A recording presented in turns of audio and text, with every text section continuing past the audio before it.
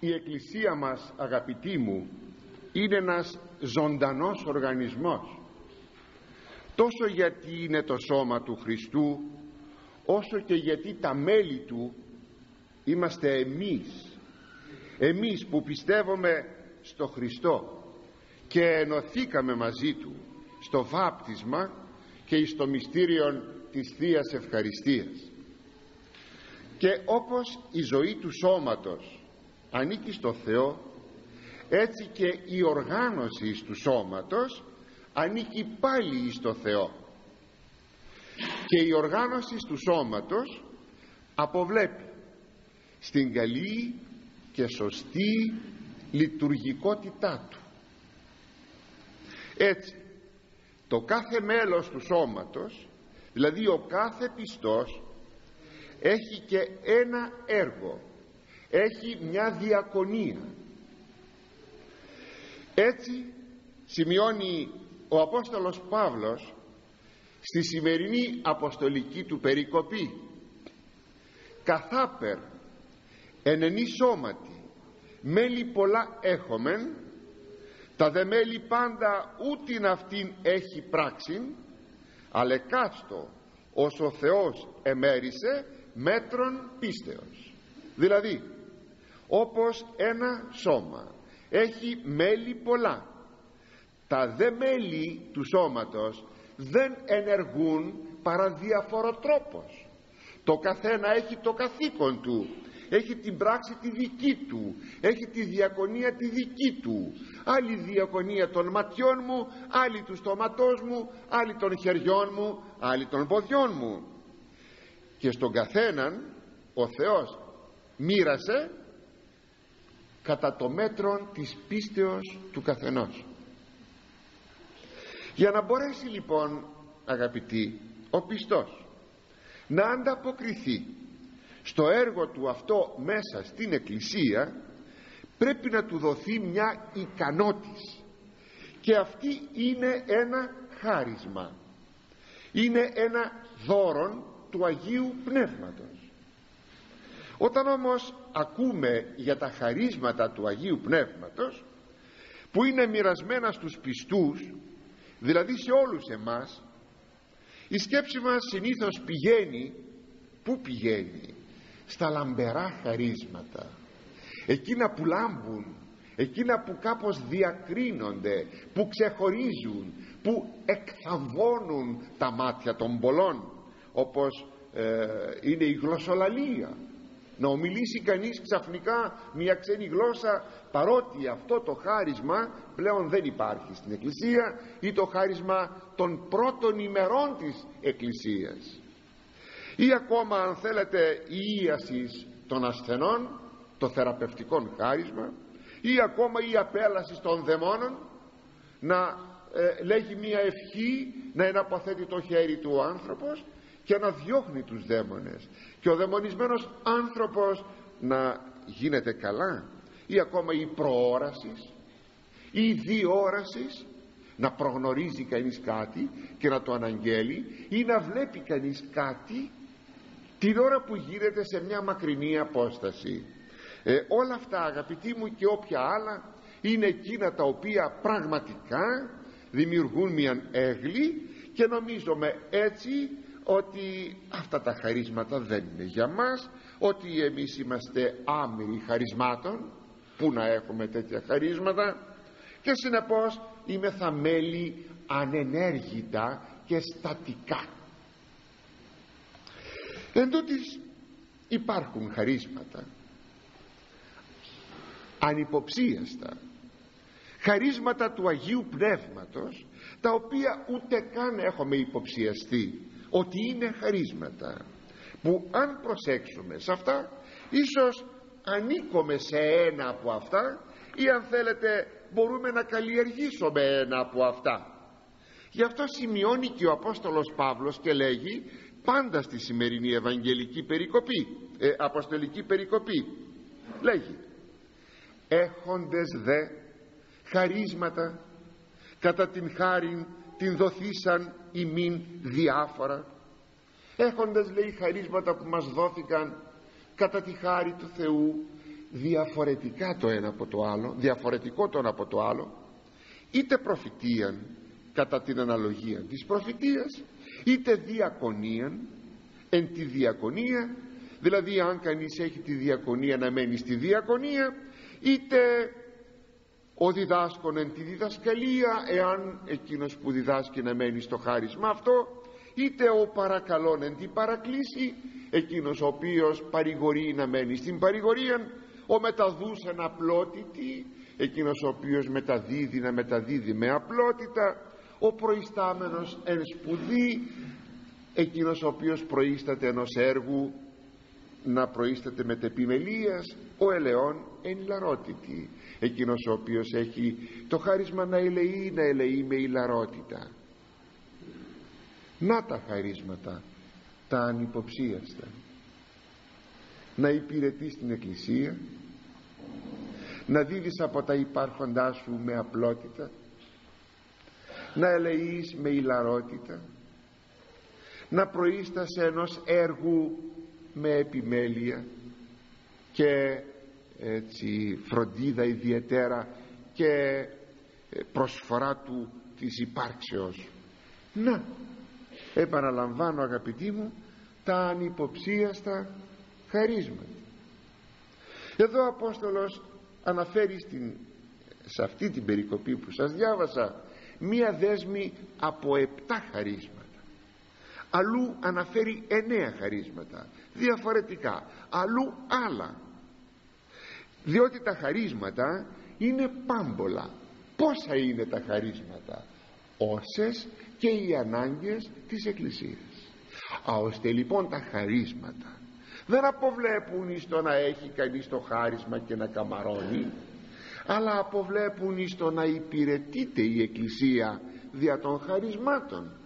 Διαμέσου εκείνων οι οποίοι έχουν τα χαρίσματα αυτά αν εγώ φορώ τον σταυρόν αυτόν δεν είναι αδαμαντοκόλλητος μπορούσε όμως να είναι, να είναι και αδαμαντοκόλλητος.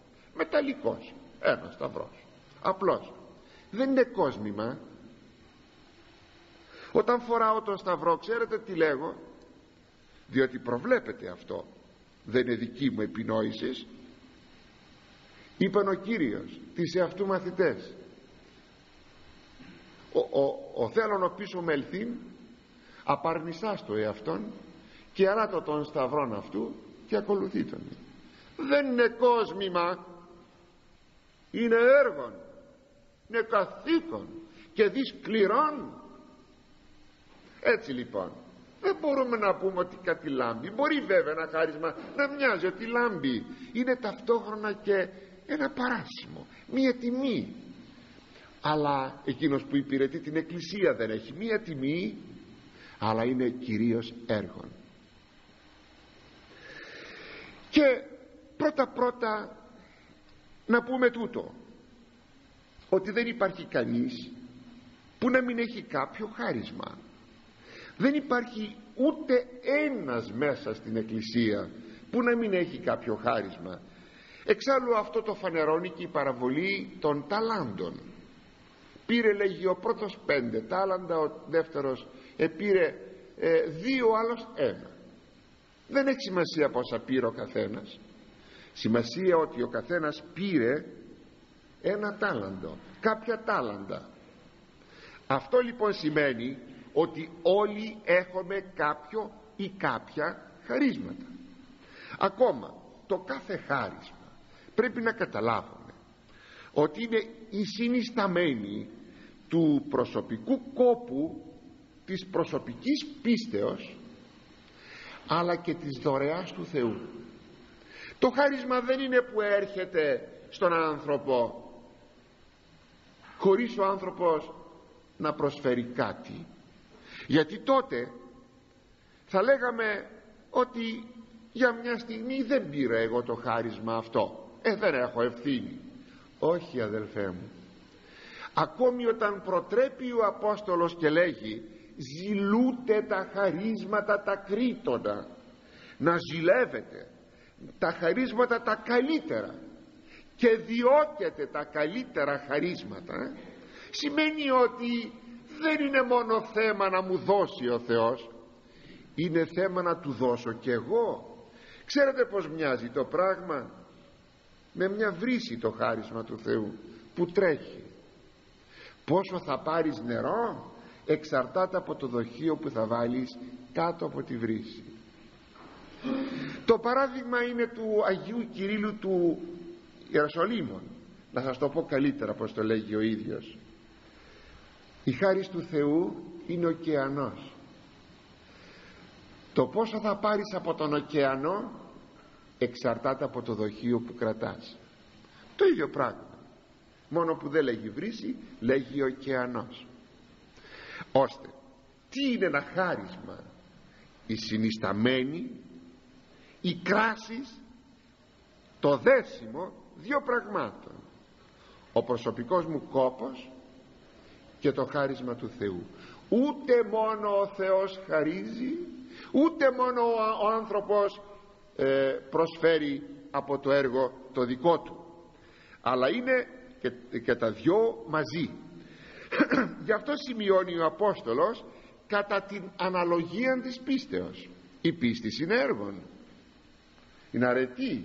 Ότι είναι έργον είναι αρετή. Ότι δεν είναι έργον δεν είναι αρετή.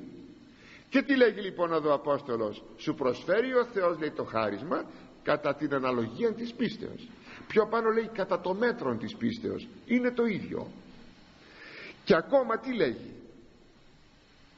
Ή μάλλον αυτό δείχνει ότι είναι η, δωρεά ε, κράμα της προσωπικής σου δουλειάς και του, της προσφοράς του Αγίου Πνεύματος. Ή ακόμη αν θέλετε θυμηθείτε την παραβολή των ταλάντων που σας είπα προηγουμένως που τι ζήτησε ο Κύριος όταν τον προσέφερε τα τάλαντα; Των πολλαπλασιασμών γυρίζει ο πρώτος και λέγει Κύριε τα πέντε σου τάλαντα γίνηκαν δέκα τι σημαίνει αυτό; Δουλεύω αυτό που μου δίνει ο Θεός και μου δίνει πιο πολλά τα δυο σου κύριε τάλαντα έγιναν τέσσερα το ένα σου τάλαντο κύριε που μου έδωσες λέει ο τρίτος έσε φοβήθηκα. Είσαι ο σκληρό αφεντικό. Ε, γυρεύεις να, να θερίζεις εκεί που δεν σπέρνεις και γυρεύεις να μαζεύεις από εκεί που δεν σκορπίζεις. Λοιπόν επειδή σε φοβήθηκα δεν κατεχράστη το τάλαντόν σου το πήρα το κρύψα στη γη και τώρα να το πάρτο δούλε πονηρέ και αχρίε και οκνηρέ. Άκουσε αυτός ο δούλος. Ακούσατε; Δεν είναι λοιπόν μόνο να το φυλάξεις γιατί υπάρχει και η άλλη περίπτωση να σπαταλήσεις το τάλαντο. Ο άσωτος Υιός της παραβολής όταν απεμακρύνθη εσπατάλησε την ουσία του πατρός. Ουσία θα πει περιουσία. Εσπατάλησε την περιουσία του, του πατρός. Και ποια είναι η περιουσία του πατρός; Η πρίκα που δίνει στα παιδιά του. Τα τάλαντα. Αυτή είναι η πρίκα. Και έρχεσαι και τη παταλάς δεν τη παταλάς μου λες αλλά την κρύπτεις και πάλι αποκαλείσαι αχρίος και οκνηρός δούλος. Άχρηστος δηλαδή άνθρωπος. Αχρίος, άχρηστος άνθρωπος. Τι φοβερό πράγμα. Βλέπετε ότι πρέπει να δουλέψουμε τα διακονήματα τα χαρίσματα που μας δίδει ο Θεός μέσα στην Εκκλησία και υπέρ της Εκκλησίας. Ας έρθουμε λοιπόν να δούμε αγαπητοί μου τα επιμέρους αυτά. Επτά ανυποψίαστα ξαναλέγω χαρίσματα πλην του πρώτου που είναι η προφητεία. Μήπως αρχίσουμε να αφυπνιζόμεθα και να λέμε ότι μπορούμε και πρέπει οφείλουμε να υπηρετήσουμε σε ένα ή σε περισσότερα από αυτά. Είτε προφητεία λέγει ο Απόστολος κατά την αναλογία της πίστεως. Είναι το χάρισμα της προφητείας. Είναι αυτό που λέγει ο Θεοδόρητος ου μόνον των εσωμένων την πρόγνωση αλλά και των κεκριμένων την γνώση ποιο είναι το χάρισμα της προφητείας; Να γίνω ένας σαν τους τέσσερις μεγάλους προφήτας της Παλαιάς Διαθήκης ή τους δώδεκα ελάσσονας τους μικρούς; Ή να γίνω τι να γίνω; Το χάρισμα της προφητείας ξέρετε υπήρχε υπάρχει και θα υπάρχει πάντοτε μέσα στην Εκκλησία όχι μόνο σαν κάτι που προλέγει τα μέλλοντα όπως λέγει εδώ ο Θεοδόρητος των εσωμένων την πρόγνωση εκείνων που θα γίνουν την πρόγνωση αλλά και των εγκεκριμένων την γνώση. Τι σημαίνει αυτό; Σημαίνει ότι τα κρυμμένα υπάρχουν όμως. Να γίνει μια αποκάλυψη. Και πού μπορεί να γίνει αυτή η αποκάλυψη; Των παρόντων. Πρώτα πρώτα μέσα στην Αγία Γραφή η Αγία Γραφή είναι μπροστά μας. Και καλούμεθα να την ερμηνεύσουμε. Αλλά η ερμηνεία της Αγίας Γραφής ακολουθεί των πεπατημένων δρόμων της λεγόμενης ακαδημαϊκής ερμηνείας. Αυτή που θα μαθαίναμε στο σχολείο μας ή στο πανεπιστήμιο.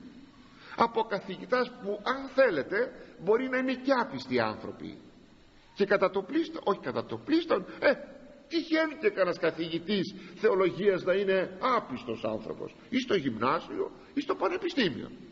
Να μην πιστεύει. Αλλά τι κάνει διδάσκει την καθιερωμένη ερμηνεία. Και λέγει το και το. Και αυτό να είναι αληθές να είναι πραγματικό. Να είναι σωστό. Αυτό είναι; Όχι.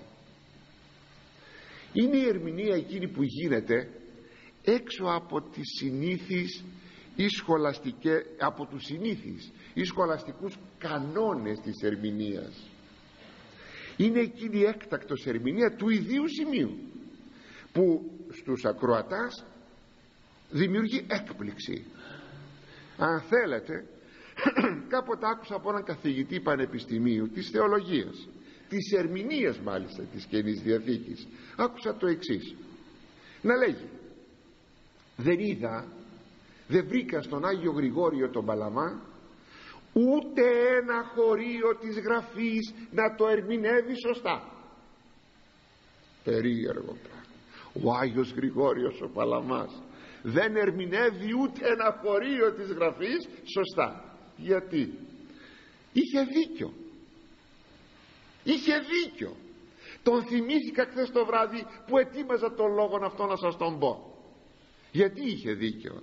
Γιατί αυτός ο καθηγητής ερμηνεύει σύμφωνα με τους κανόνες τους παραδεδομένους ή αν θέλετε τους σχολαστικούς κανόνες ερμηνείας της Αγίας Γραφής. Οι οποίοι δεν είναι και αδιάβλητοι αν το θέλετε. Ο Άγιος Γρηγόριος ερμηνεύει με προφητικό χάρισμα.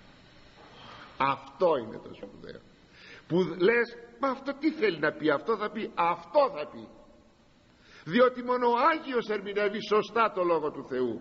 Αυτός που έχει το προφητικό χάρισμα. Αυτό είναι το προφητικό χάρισμα. Όχι να προλέγω μόνον αλλά και να αποκαλύπτω.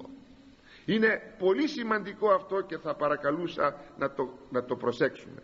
Ή ακόμη να αποκρα, αποκρυπτογραφεί κανείς την εποχή του.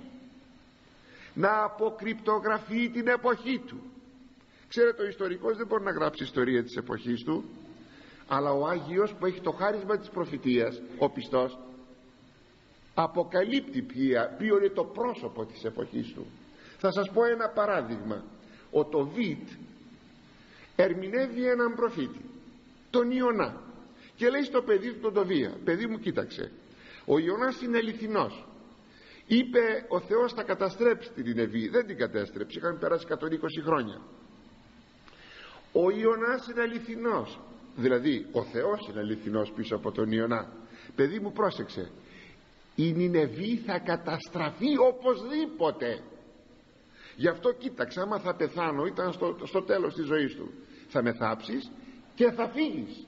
Θα μαζέψεις την περιουσία σου και θα φύγεις. Θα πας, του είπε που θα πάει στους ράγους της Μηδίας. Εκεί λέει θα πας. Όταν έφυγε ο Τοβίας έγινε η καταστροφή της Νινεβή. Ανύποπτα στρα από τόσα χρόνια. Πως και έγινε αυτό. Αποκάλυπτε τους καιρούς ο Τοβίτ έβλεπε ότι η Νινεβή δεν κατεστράφει γιατί μετενόησε τώρα όμως επανήλθε στην κακία της. Συνεπώς επανέρχεται και η προφητεία. Αυτό όμως ήταν ανυποψίαστο για πολλούς για τους πάντας. Αλλά το Βίτ με το προφητικό του πνεύμα αυτό το προφητικό πνεύμα αυτό που μιλάμε το σύνορα τι είπε; Η Νινεβή οπωσδήποτε θα καταστραφεί. Βλέπετε παρακαλώ ενώ δεν είναι ο πρωτότυπος προφήτης ο πρωτότυπος προφήτης είναι ο Ιωνάς. Αλλά ο Τοβίτ επιβεβαιώνει αυτό θέλει πάλι προφητικό χάρισμα. Αλλά ας προχωρήσουμε. Είτε διακονίαν εν τη διακονία. Είναι οι ποικίλες αγαπητοί μου διακονίες μέσα στο ποιμαντικό έργο της Εκκλησίας.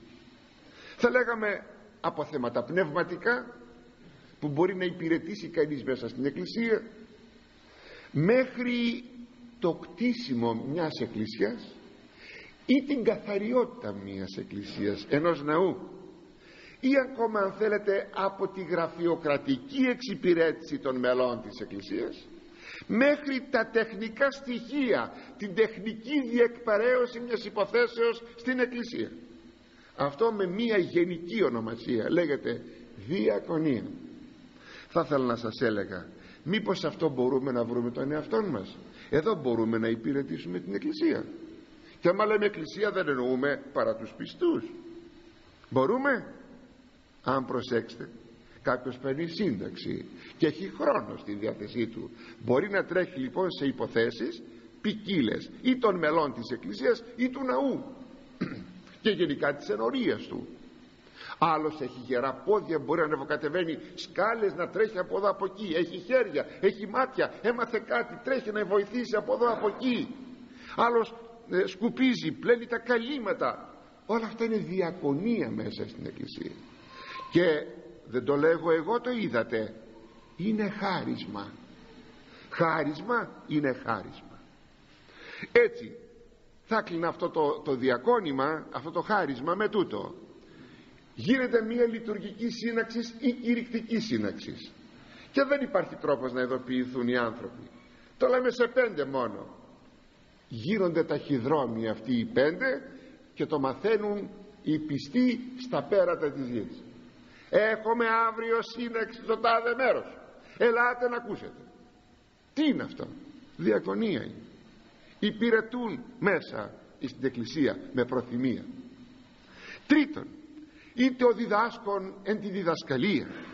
Είναι αυτός που διασαφηνίζει τις αποκεκαλυμμένες αλήθειες ή εμβαθύνει ακόμα αν θέλετε εις το Λόγο του Θεού και τον μεταδίδει το Λόγο του Θεού εις τους υπολείπους.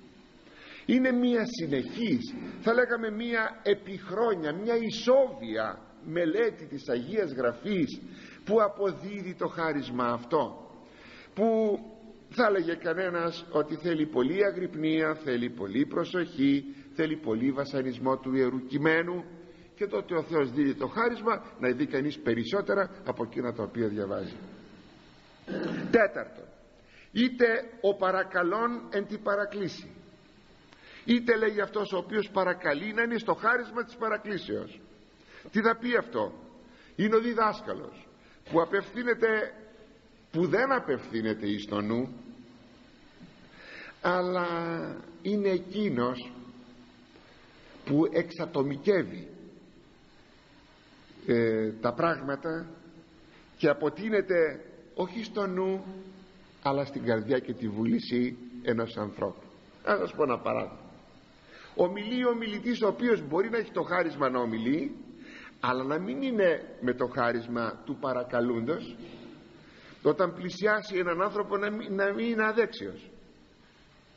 Αντίστροφα εκείνος που έχει το χάρισμα της παρακλήσεως να είναι αδέξιος να ομιλήσει. Είδατε χωρισμό μερισμό των χαρισμάτων ομιλεί λοιπόν ο ομιλητής μέσα στην εκκλησία και ο πλαϊνός ενός κάποιου που έχει το χάρισμα της παρακλήσεως λέει ποιος μπορεί να τα κάνει αυτά; Αλίμονό μας. Είμαστε για την κόλαση τον παίρνει ο, ο, ο παρακαλών και του λέει γιατί για την κόλαση; Ο λόγος του Θεού είναι για όλους μας. Δεν είναι για αγγέλους είναι για ανθρώπους τον παίρνει, τον, προ, τον προτρέπει, τον παρηγορεί, τον βοηθάει, τον ενισχύει αποτείνεται στην καρδιά του αποτείνεται στη βούλησή του. Δεν αποτείνεται εις το νου του. Αυτός είναι εκείνος που έχει το χάρισμα της παρακλήσεως. Έτσι θα λέγαμε ότι παράκληση σημαίνει παρηγορία ενίσχυσης προτροπή ή συμβουλή. Έρχονται άνθρωποι και μας λέγουν Πάτερ πέστε μας ένα λόγο μόνο. Ένα λόγο. Λες τι να σας πω ένα λόγο. Και τους λες ένα λόγο και παρηγορούνται και ενισχύονται και φεύγουν ενισχυμένοι και μπορούν να γυρίσουν ύστερα από καιρό και να σου πούν θυμόσαστε μας είχατε πει εκείνο. Ε αυτό μας εστήριξε αυτό είναι το χάρισμα της παρακλήσεως. Πέμπτον ο μεταδούς ένα απλότητη εκείνος που μεταδίδει να μεταδίδει με απλότητα. Τι είναι αυτός που μεταδίδει; Είναι αυτός που χορηγεί από τα προσωπικά του υλικά αγαθά. Όχι τα υλικά αγαθά της Εκκλησίας από τα προσωπικά του αγαθά. Χωρίς να ζητά αυτό θα πει απλότητη την ανθρώπινη δόξα και την ανθρώπινη προβολή. Απλώς ζητάει την κάλυψη των αναγκών του πλησίου ακόμα όταν αυτός ο άνθρωπος έτσι προσφέρει εναπλότητη τι ωραίο ο μεταδούς εναπλότητη ωραιοτάτη φράσης. Είναι κερδισμένος διότι λέγει ευχαριστώ πολύ όχι εκείνος που λαμβάνει λέγει ευχαριστώ οφείλει να πει ευχαριστώ λαμβάνουν. Αλλά εκείνος που δίνει λέγει ευχαριστώ γιατί; Γιατί αισθάνεται ότι του δίδεται η ευκαιρία να κερδίσει τη Βασιλεία του Θεού με την παρουσία εκείνου που έχει ανάγκη. Και λέγει αυτό το ευχαριστώ. Πέμπτον έκτον ο προϊστάμενος εν σπουδή. Δηλαδή εκείνος που έχει την επιμέλεια τη φροντίδα των άλλων των ορφανών των χείρων των συσιτίων αν θέλετε ό,τι έργο υπάρχει στην Εκκλησία είναι αυτό που λέγει στον Τίτο ο Απόστολος Παύλος να μάθουν και οι δικοί μας προείσταστε καλών έργων να προείστανται καλών έργων μέσα στην Εκκλησία. Να το μάθουν λέει οι δικοί μας. Αυτός είναι ο προϊστάμενος. Και τι καλείται να προείσταται να επιμελείται εν σπουδή. Δηλαδή τι με επιμέλεια με ζήλο με φροντίδα σαν να είναι δικό του το έργο όχι σαν να είναι κάποιου ξένου όχι αγκαρία αλλά θα το παίρνει θερμά ζεστά προσωπικά. Και τέλος έβδομον ο ελαιόν είναι ηλαρότητη και εκείνος ο οποίος ελεεί να ελεεί με ηλαρότητα με χαρούμενο πρόσωπο. Είναι εκείνος ο οποίος γενικά θα λέγαμε αγαπά να βρίσκεται κοντά στους θλιβωμένους στους πάσχοντας, στους πενθούντας στους φτωχούς να τους συνδράμει με κάθε τρόπο αλλά το πρόσωπό του είναι ηλαρόν είναι χαρούμενο όπως λέγει η Σοφία Σιράχ εν πάση δώσει ηλάρωσον το πρόσωπό σου ό,τι δίνεις το πρόσωπό σου να είναι χαμογελαστό. Ηλάρωσον το πρόσωπό σου. Ή όπως λέγει ο Ιερός Χρυσόστομος ου με τα αλήπου μόνον γνώμης αλλά και με τα φεδράς και χερούσεις όχι μόνο να είσαι άλυπος αλλά και χαρούμενος όταν δίνεις κάτι. Αγαπητοί μου ο Απόστολος ομιλεί για τα χαρίσματα τα διάφορα χαρίσματα για να δείξει όπως λέγει ο Μέγας Φώτιος ότι ούτω μεν μέγα το δε μικρόν αλλά ποικίλα και αρμόδια. Δεν υπάρχουν μικρά και μεγάλα χαρίσματα. Υπάρχουν χαρίσματα απλώς μες στην εκκλησία τα οποία υπηρετούν έναν σκοπό ακόμη ήγαρ και έχεις λέγει ο Ιερός Χρυσόστομος ήγαρ και έχεις ήγαρ και χάρις εστίν αν, αν υπάρχει χάρις αλλού απλώς εκχύται. Δεν έρχεται να χυθεί η χάρις απάνω σου αλλά το σου τον επιρεί αλλά τόσο λέει επιρρέει επάνω σου όσο ανέβρει σκεύος πίστεως αυτό προσενεκθέν όσο βρίσκει σκεύος πίστεως που προσε, προσυνέχθη στο Πνεύμα του Άγιο για να μπει μέσα το χάρισμα αγαπητοί μου μπορείτε να φανταστείτε μια εκκλησία που οι πάντες εργάζονται σαν το μελίσι που ο καθένας έχει τη διακονία του κατά τρόπον άψογον. Τι ωραίο αυτό, τι θαυμάσιο. Αν πει κάποιος είμαι άρρωστος και είμαι στο κρεβάτι δεν έχω την δυνατότητα. Τι μπορώ εγώ να κάνω; Κάνε προσευχή για τους άλλους. Να υπηρετήσεις την διακονία της προσευχής αρκεί να λείπει η οκνηρία από μας. Αρκεί να, έχω, να φύγει αυτή η εσφαλμένη αντίληψη ότι εμείς δεν έχουμε τίποτα κανένα χάρισμα. Αυτά αγαπητοί μου είναι τα ανυποψία χαρίσματα που ο ταπεινός και εργατικός άνθρωπος επισημαίνει αποδέχεται και αποδίδει. Έτσι η Εκκλησία λαμπρύνεται και ο Χριστός δοξάζεται